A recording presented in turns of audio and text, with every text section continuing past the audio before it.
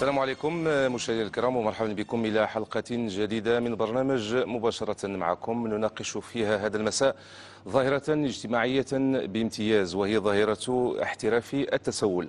مصالح الأمن أعلنت خلال الأيام القليلة الماضية أنها تمكنت خلال الأسبوع الأول من شهر أبريل الجاري عبر مدن المملكة من توقيف أزيد من 500 متسول بينهم عدد كبير من المغاربة بالضبط 474 ما من خلال الأبحاث الأولية تبين بأن هذه الحالات تكون مقرونة بظواهر مشينة منها التسول المقرون بالتحرش استغلال استغلال الأشخاص في وضعية إعاقة ذهنية. هذا الموضوع نطرحه للنقاش هذا المساء بتبسيط سواء أشكال وأنواع والمعطيات والأرقام المتعلقة بالظاهرة في بلادنا العوامل التي ساهمت في تزايد أعداد المتسولين ومحترفي التسول بالعديد من مدن وقرى المغرب والحلول والمقاربات القمينة بالحد من الظاهرة التي أضحت ظاهرة مشينة سواء على صورة المغرب وصورة الفرد المغربي وكذلك صورة المغربي في الخارج. لمناقشة الموضوع يسعدني أن أرحب بكل من سي محمد أيت عزيزي أنت مدير الطفولة والأسرة والأشخاص المسنين بوزارة التضامن والمرأة والأسرة والتنمية الاجتماعية. مرحبا بك معنا. شكرا لك. سي أشهد المومي عضو الجمعية المغربية لمساعدة الأطفال في وضعية هشة. مرحبا. مرحبا سي جمال. مرحبا كذلك بسي عبد الرحيم الخلادي الباحث والإطار التربوي وكنت إلى عهد قريب أستاذ التعليم الثانوي التأهيلي. مرحبا. مرحبا وشكرا. أستاذة مريم جمال الإدريسي محامية بهيئة الدار البيضاء وعضو جمعية عدالة من أجل الحق في محاكمة عادلة مرحبا. شكرا ومرحبا لك. شكرا لك.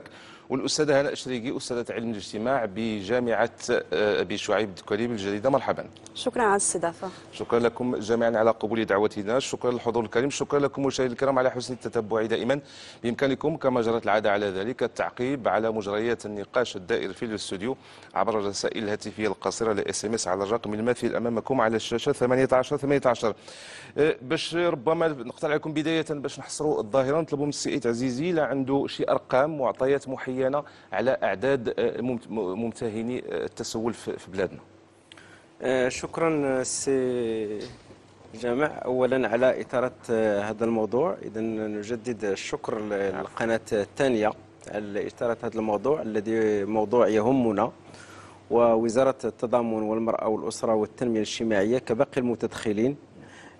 تهتم بهذا الموضوع لأنه الموضوع معقد الموضوع فيه متدخلين يعني مختلفين. الموضوع كذلك يستدعي التقائية جميع الأطراف لمعالجته. فيما يخص المعطيات آخر المعطيات اللي كانت هي كانت هناك بحث في 2006 كان قامت به الوزارة وكان على مستوى مدن مدينة الرباط.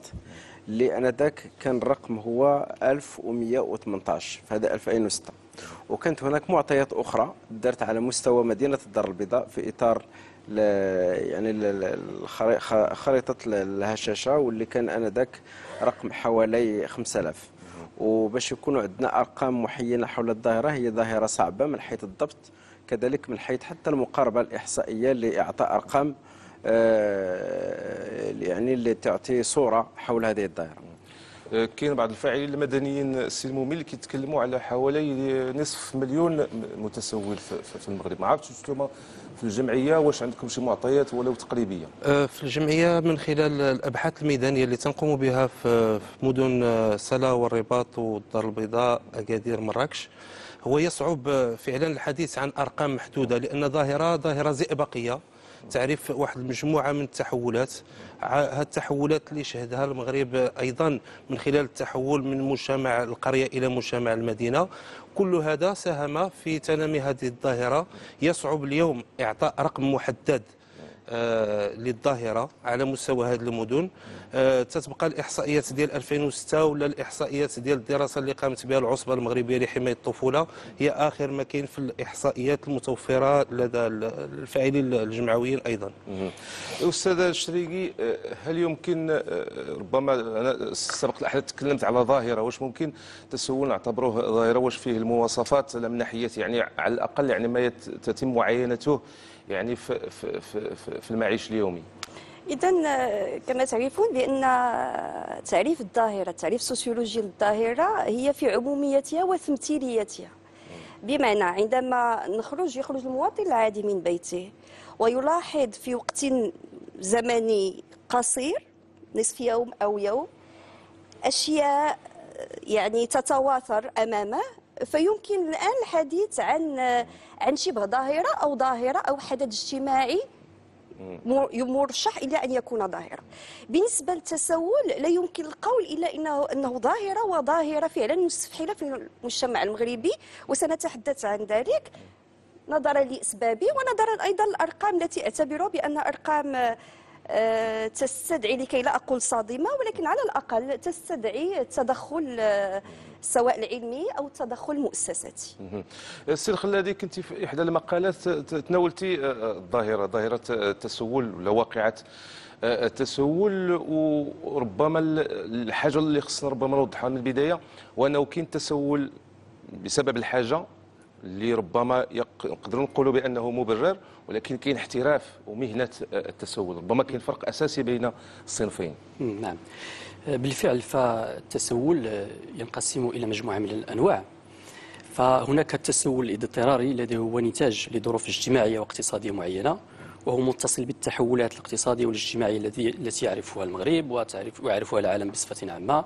متصل بالهجرة من البادية إلى من البادية إلى المدينة متصل بمجموعة من الحيثيات. لكن هناك نوع من نوع نوع آخر وهو التسول الاحترافي. التسول الاحترافي بحيث يتحول التسول إلى حرفة وتنشط في مجموعة من الشبكات ويتم استحضار مجموعة من الأمور التي تبتعد عن القيم وتبتعد عن المبادئ الإنسانية بحيث يتحول المتسول إلى آلة لجمع المال بطريقة أو بأخرى.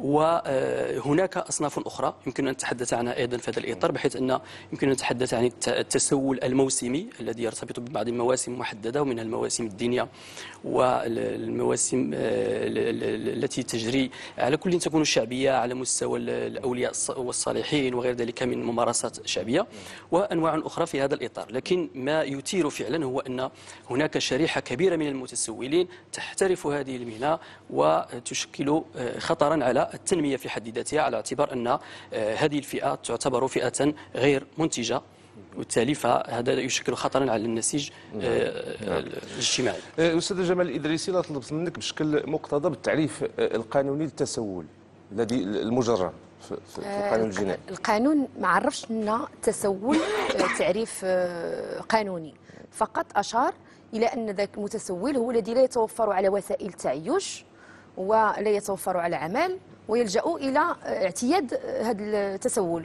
أما التعريف آه، القانوني تعريف فقهي منضبط آه، أو تعريف قانوني منضبط للتسول في القانون المغربي في مجموعة القانون الجنائي لا نتوفر عليه. فقط هناك مجموعة من النصوص وهي الفصول 329 حتى 333 في مجموعة القانون الجنائي تطرقت لهذه الظاهرة بواحد النوع من آه، من إن صح التعبير اعتبرت الظاهرة ظاهرة إجرامية بعيدا عن المقاربات الأخرى التي يمكن نسوق فيها الحديث وأن نفهم فيها فعلا خطورة هذه الظاهرة لا سيما لا سيما وأنها تستهدف الفئات الهشة من المجتمع هنا لابد من استحضار آه، منظومة آه، ديال حقوق الإنسان والدستور المغربي اللذان انسجما في إطار واحد وحاول ما أمكن حماية هذه الفئات الهشة اللي هم الأطفال والمسنين والنساء.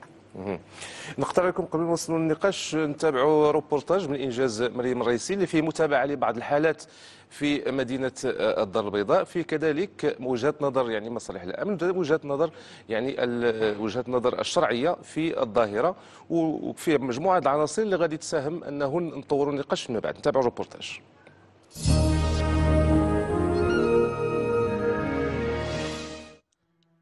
الدار البيضاء في يوم ربيعي عاد بمركز المدينة بات من المألوف أن تشاهد ظاهرة التسول أمام المقاهي والمطاعم في واجهة الفنادق وإشارات المرور تماما مثل باقي المدن المغربية.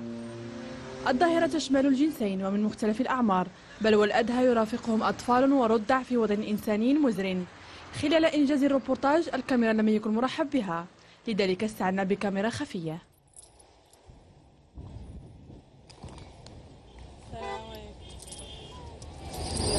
كيشرب معاه كريم على الكوافيه هذاك الشيء علاش كنجيبو كتقرا عند النهار جبتها معايا. ما عادش كتجي من الصباح وانت هنا. لا كنجي حتى العشيه والله دبرتي 50 درهم كدير المنطار 50 درهم من شحال من ساعة؟ كنبقى لا جيت لا جيت في الصباح بكري كنقرا في الصباح. كنجي من السبعة كنمشي مع الحديقه وحدة. ما لقيتي شي خدمه ما تخدميه لا كنخدم بحال ما كنا لقيت شي دار ولا شي حاجة كنمشي نخدم فيها. الوجهة مقبرة الغفران. وكباقي المقابر منذ المدخل وإلى باحة المقبرة المكان يعج بمتسولين كثر. كحالات هذه الأم التي لم يستثنيها الحمل عن التسول هذا اليوم. أختي الله وليت كنطلب ما كاينش عامين باش وليت كنطلب. ملي مات لي بو وليت كنطلب. ما كان بحري ما كنت كنطلب. هو ما كاينش الوليد اللي يشدوا كاينش اللي يشدهم ليا أختي كذبه عندي الله عارف. شحال ديال الوليدات عندي كنتش لا حامله بعدا بس.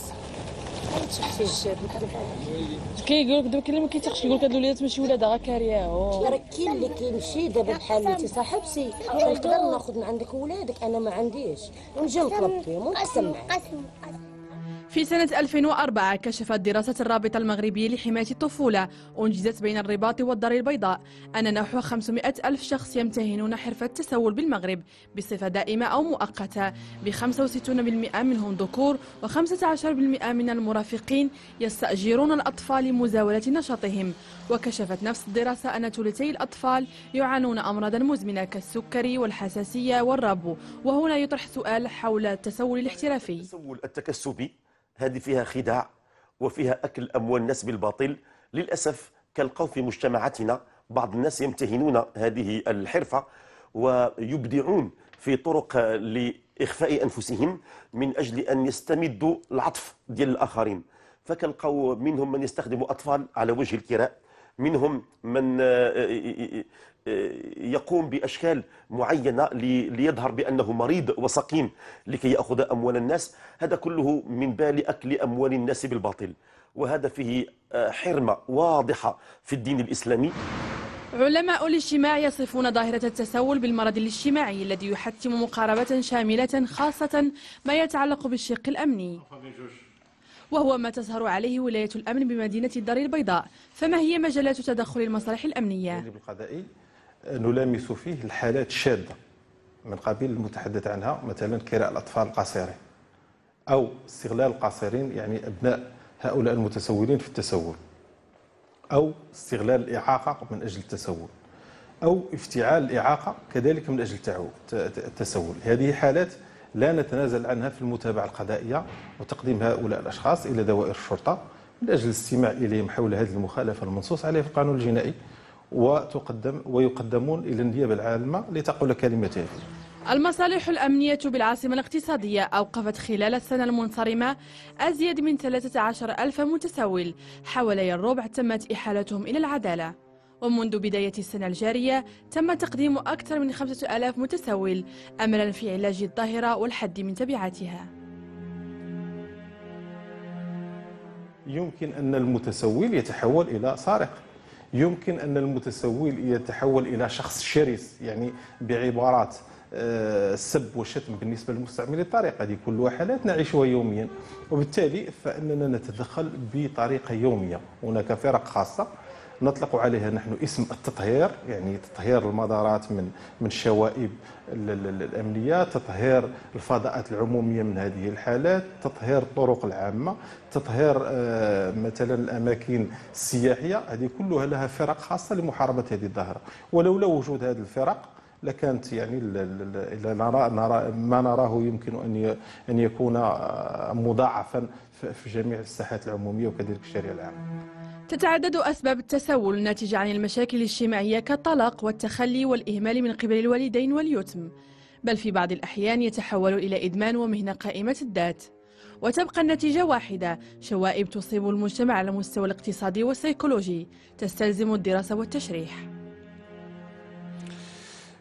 ربما على الأقل النقطة الأولى اللي في الروبورتاج آه، أستاذ الشريقي كاين واحد الرقم اللي هو رسمي ديال المصالح الأمنية المتعلق بالحالات التي تم توقيفها فقط السنة الماضية اللي هو 13000 زائد 5000 يعني خلال يعني الأشهر الثلاثة الأولى من هذه هذه السنة. هذا ربما رقم يعطينا آه، صورة تقريبية على الحجم ديال الظاهره أليس كذلك؟ نعم بالطبع. إذا كما قلت قبل الروبورتاج هو هي أرقام لكي لا نقول صادمة لكن أرقام تحتاج إلى تحليل وتمحيص من طرف الخبير سواء القانوني أو الجمعوي أو السوسيولوجي أو يعني المختص النفسي إلى غيرها.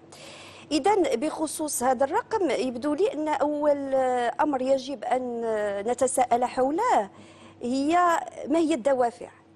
التي جعلت هذه الأرقام في تصاعد مستمر. شنو هو العامل الدافع الأول في اذا الدافع الأول كما أشار الزميلين هو دافع ديال لوربانيزاسيون انتقال من القرية إلى المدينة. عندما ننتقل من القرية إلى المدينة ننتقل من آه، الحقل الأسري إلى آه، مهن ربما مجهولة إلى مستقبل مجهول. وبالتالي ما هي الموارد الكفيلة بإعالة هؤلاء المهاجرين الجدد من القرية إلى المدينة داخل هذه المدن الجديدة وخصوصا كما ترون داخل المدن الكبرى. مقابل مقابل ذلك هناك مشكل قيمي يشكو منه المجتمع المغربي وهناك العديد من الدراسات في هذا المجال. هناك تراجع قيم التضامن قيم الجوار قيم التكافل اذا هذا الشخص الذي انتقل من الفضاء أو المجال القروي إلى المجال الحضاري باحثا عن ملاذ باحثا عن عن مورد مادي.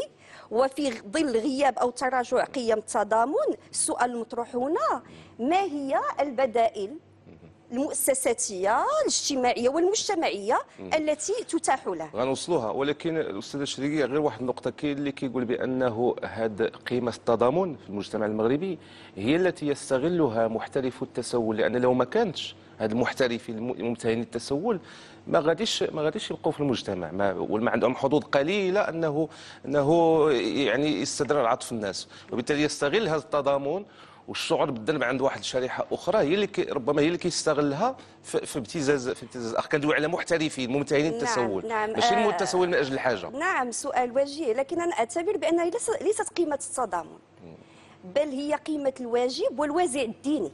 هي التي تكون حاضرة لدى من يعطي الصداقه بين مزدوجتين. اذا هو يعطي صدقة ويعتبرها حسب السجل الديني بأنها جزاء. سوف يتم سوف يجزى عليها من طرف الإله.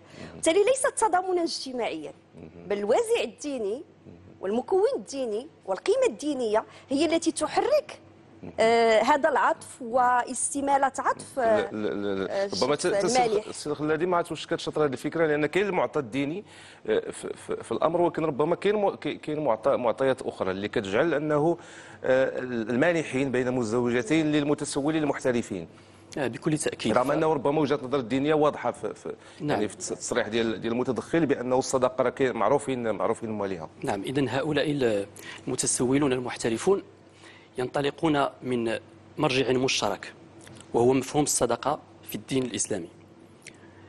وما ينتج عنها وما يجازي الإله بها إلى غير ذلك من تفاصيل. ينطلقون من هذا المنطلق فيبدعون اشكالا متعددة ولغة معينة فيها محتوى ديني لاستدرار العواطف وترقيق القلوب إلى غير ذلك. وهنا هذا التوظيف في هذه الحالة هو توظيف خطير على اعتبار أن الدين ينبغي أن يكون في مجاله وفي محله وفي سياقه وهذه الممارسات ينبغي أن تبقى بدورها في سياقها. لذلك فالغطاء الديني هو الذي يساهم في انتشار الظاهرة خصوصا في الشق الاحترافي لأن الإنسان المغربي إنسان مؤمن بطبعه متسامح إلى غير ذلك فيتم استغلال مثل هذه الوضعية أو هذه القيم للقيام بهذه الممارسات. فيمكن أن نجد العديد من المظاهر في هذه الحالة. يمكن الحديث عن يعني التسول في أبواب المساجد استغلال العاطفة الدينية خصوصا يوم الجمعة التسول في أمام المقابر ولا بداخل المقابر أيضا استغلال تلك الحالة النفسية الموجودة في هذه الحالة. آه، هناك مظاهر أخرى من يمكن أن تصل إلى بعض بعض الأمور التي يمكن أن نسميها حتى بموضه ال- التسول على اعتبار أنه مثلا في على الأقل من التسعينيات إلى الآن يمكن نشوفوا ظواهر معينة بحيث كنجد نجد مثلا بعض النساء بلباس محتشم وكذا وكيدخلوا المقاهي مثلا تيتم توزيع. بعض الوريقات على الناس ومن بعد كيتم الجمع ديالها. هذه لا حللناها من ناحية ديال التعبير ومن الناحيه السيميائيه فيها العديد من من من, من الدروس بحيث أنه كيتم استغلال مثلا المفهوم ديال الحشمة والوقار استغلال مفهوم هذاك الصمت في الاطار الديني آه، الصوت عورة ولا ماشي عورة صوت المرأة إلى غير ذلك فواحد المجموعه من الأمور يتم استغلالها لاستدرار تلك آه، العواطف لذلك فهذه من الأمور التي ينبغي الانتباه إليها فالموضوع في أو لا الصداقة في سياقها الديني نحن نحترم هذا الطرح لا, لا إشكال ولكن أنا أتحدث في السياق الاحترافي الذي آه. ي- نعم. سيد عزيز ما اشتغلتوا شوية على ال- ال- الدوافع والعوامل لا هو اولا يجب أن نشير هو أن هي ظاهرة معقدة جدا. وكل العوامل التي تفضلوا بها ال- الإخوان الأستاذ الكرام فيما يخص الفقر فيما يخص الصحة فيما يخص يعني اختيار الأماكن هذه كلها يعني حسب البحث الذي كان أجري في 2006 هذه كلها دوافع. ولكن السؤال الجوهري هو أنه تبين من خلال التجارب التي قمنا قامت بها ال- ال- ال- السلطات العمومية في هذا المجال هو أن معالجة هذه الظاهرة بشكل مباشر لا يعطي نتائج. وبالتالي فالاستثمار الأكبر هو الاستثمار في الوقاية. هو الاستثمار في السياسات العمومية هو الاستثمار في مداخل متعددة منها ما هو قانوني وما هو تنموي وما هو اقتصادي.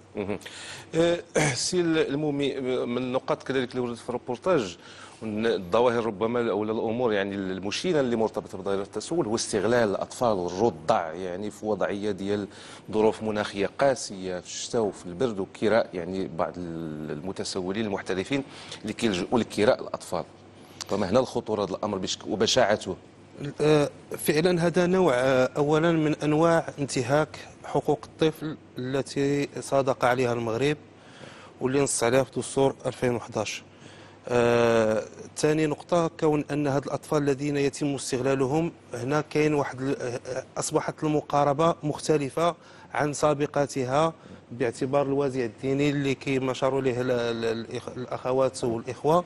كان الناس يتعاملوا بالعطف اليوم المقاربة عندها مدارس ديالها عندها مناهج ديالها في التعامل بهاد الأطفال هادو.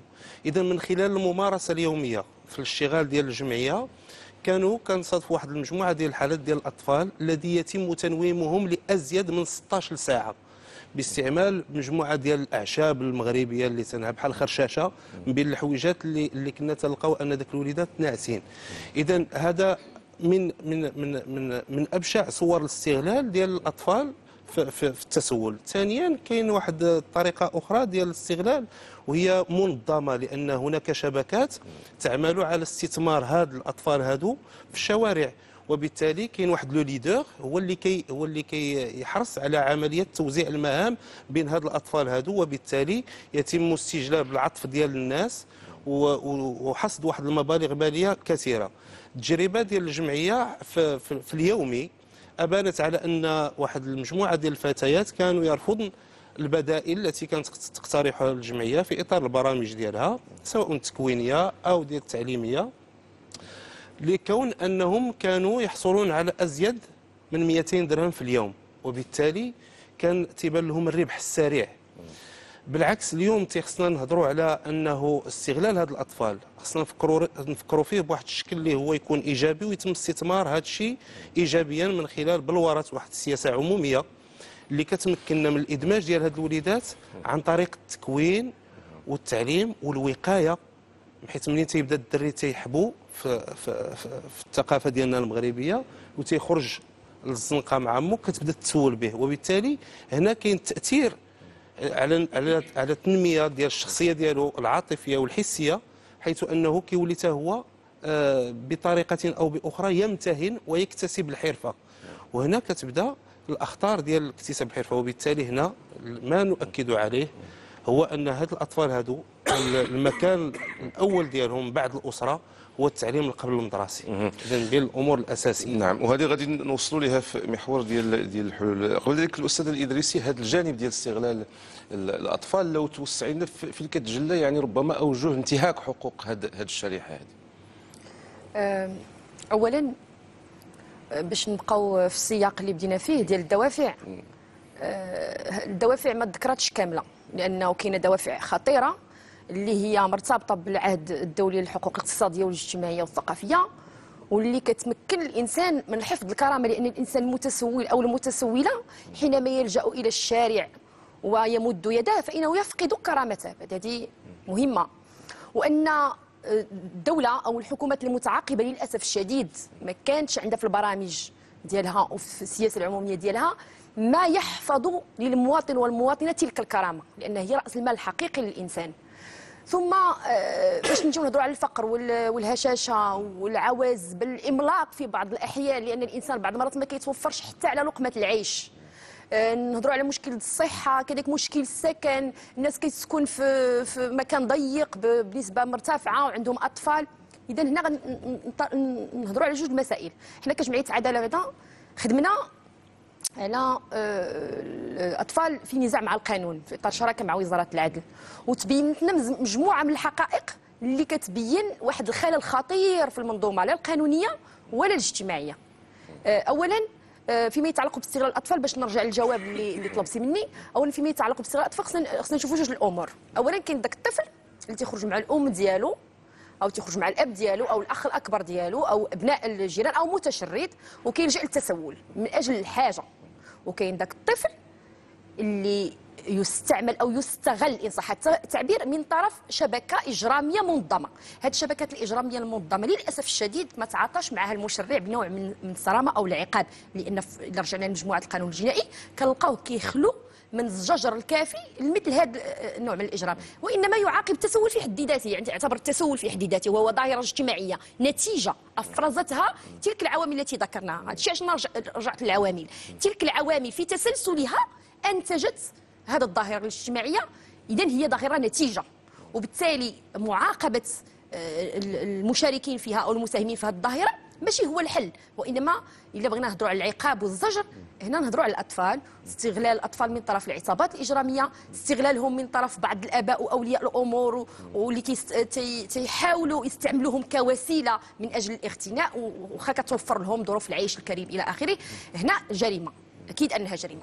أما التسول في حد ذاته الحاجة فقدان الكرامة لا يمكن أن نعتبره جريمة ولا يمكن أن نعاقبه ولا يمكن أن ننظر إلى الظاهرة من زاوية وحيدة وضيقة وهي الزاوية الز- الزجرية أو المقاربة الأمنية على حساب المقاربة الحقوقية. وحنا كنعرفوا لابد لنا من حماية المصلحة الفضلى لل- للطفل وعلى الدولة في إطار برامجها التنموية البشرية أن تعتني بهذا الموضوع بالشكل اللازم. للأسف أنه هناك خلل وخلل خطير. حتى آه، أن آه، الوزارة الوصية كتقول بأن عندها أرقام ترجع سنة 2006 آه، الوزارة الوصية كتقول لك بأن ما كايناش استراتيجية.